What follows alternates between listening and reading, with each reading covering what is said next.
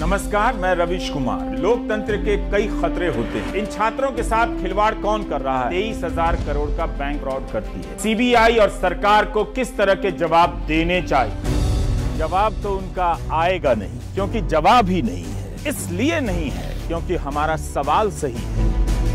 नफरत का एजेंडा जिस दिन थक जाएगा, भीड़ के पाँव में दर्द बहुत होगा। उस दिन लड़खड़ाने से बेहतर आज अपना संभाल लीजिए। रात के नौ बज जाएँ तो प्राइम टाइम लगा लीजिए एनडीटीवी इंडिया पर।